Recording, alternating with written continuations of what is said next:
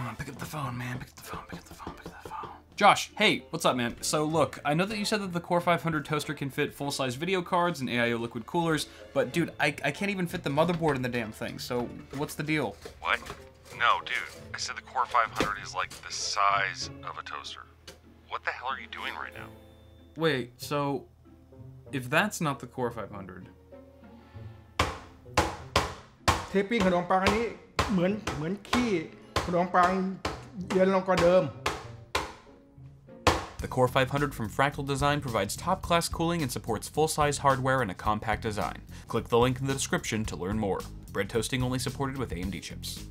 What's up guys? So with new Pascal and Polaris offerings just around the corner in 2016, it hardly seems worthwhile to talk about the current generation of GPUs, which have already been exhaustively reviewed and tested since their release. Sources are actually saying that the hype train for these cards is now being driven by an amateur semiconductor. Okay, I feel really bad that I just told you guys that joke, so I'm gonna shoot myself in the face. Ow! Now at the same time, some of you thrifty builders out there might be able to snag a used video card from folks who are making room in their rigs for the new wave of GPUs. Additionally, I simply couldn't find any good online comparisons between the two models of cards I'll be pitting against each other today, which are really neck and neck when it comes to price and performance. Think Batman versus Superman with a better cast. In the green corner, we have the EVGA GTX 970 for the Win Edition, featuring the brand's ACX 2.0 cooler and measuring 9.5 inches long. In the red corner is the Nitro R9390 from Sapphire, sporting the heavyweight Tri-X cooler and weighing in at just over 12 inches long, making this the bigger clearance bane of the two with its extra fan. Standing back to back, the R9390 essentially packs double the memory advantage over its opponent in terms of both bus width and frame buffer, but the GTX 970 is definitely the more power efficient contender boasting a lower TDP and thus a lower wattage power supply requirement. It's no surprise then why the red and green rivals are driven by a pair of 8-pin and 6-pin PCIe connectors respectively, not to mention the difference in cooler size looks like an ad for Viagra. Fortunately, they don't do this in the UFC, but let's take a look at both contenders' backsides. Our Nitro has three DisplayPort 1.2s, one HDMI 1.4a, and a single DVI. For the Win brings home one DisplayPort 1.2, one HDMI 2.0, and two DVI ports. A small victory point here goes to the GTX 970 for being able to drive 4K at 60Hz over HDMI. Both cards feature rock-solid build quality, with Sapphire's larger enclosure and included backplate adding some rigidity and heft over our GTX 970. Without spending too much time on the coolers themselves, each card has its own unique assembly of heat sinks, heat pipes, and fans to keep thermals in check. What matters more here is that both of the GPUs maxed out at 74 degrees Celsius in all of my load testing, making this an even more competitive matchup as things begin to heat up. As for acoustics, let's hear what these puppies sound like under load.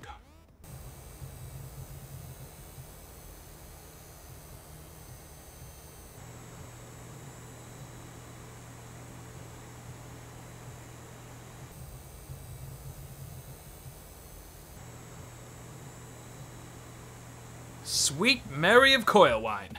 As I'm sure you guys could hear, both cards have their own special brand of coil whine, with the GTX 970s being notably louder with a higher pitch. The R9390 certainly has the louder fans of the two, which honestly I don't mind as much as the shrieking cry of what sounds like robot genocide.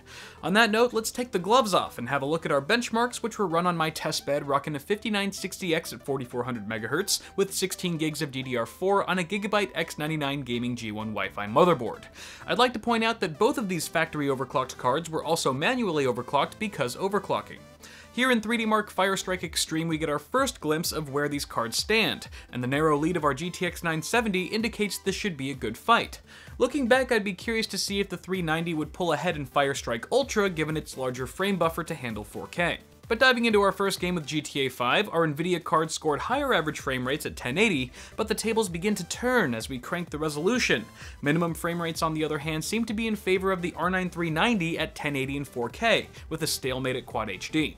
Again, with Hitman Absolution, the GTX 970 leads at 1080 but falls behind at Ultra HD, most likely due to the R9 390's higher memory and bandwidth. I needn't remind most of you that a portion of the GTX 970's frame buffer operates at a much slower speed than typical GDDR5, which appears to be crippling the card's performance at higher resolutions in our testing.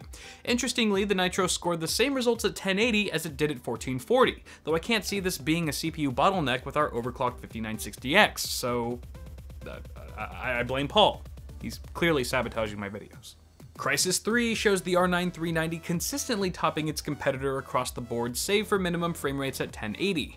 This is an AMD-backed title after all. Notice again how the Nitro pulls ahead more and more as we climb the resolution ladder and stress the memory on both cards. I mean, so far, these GPUs have been trading blows left and right, and my last test with Metro Last Light does little to rock the boat.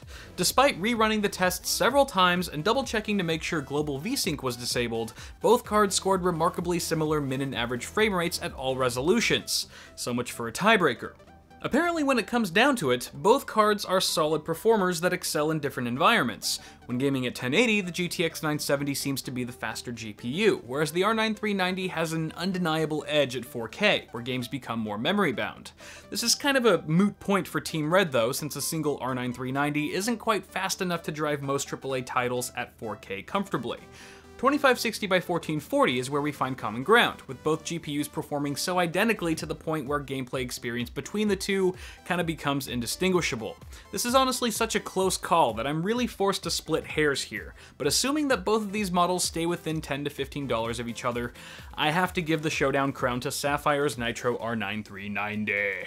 While gamers playing at 1080 might enjoy slightly higher frame rates with the GTX 970, more games are beginning to push the 4GB VRAM envelope, and with the increasing affordability of Hyper 1080 panels, double the GDR double the GDDR5 for around the same price simply makes the R9 390 a more well-rounded option. That being said, the GTX 970 for the Win Edition is arguably the faster card clock for clock, and knocks the Nitro 390 on its ass when it comes to power con consumption, efficiency, efficiency, and clearance compatibility, because it's all small and stuff, it can fit more places. Those are my thoughts after today's testing, guys, but let me know what you guys think of these results, if you would have come out with a different verdict, and why. Before you go, don't forget to toss me a big fat like on this video if you enjoyed it, and check the description below for awesome sauce shirts, new one coming very soon, and what else was I gonna say? While you're down there, feel free to bookmark my Amazon affiliate link and use it when you buy stuff. It helps him a lot. As always, I'm Kyle with Awesome Sauce Network. Thank you guys for watching. Subscribe to the channel if you haven't already and I'll see y'all in the next video. It helps him a lot. Why are Nerf guns so fun? They're so, they're so fun. I don't think I've ever played with anything as fun as a Nerf gun. Well, nah, I take that back.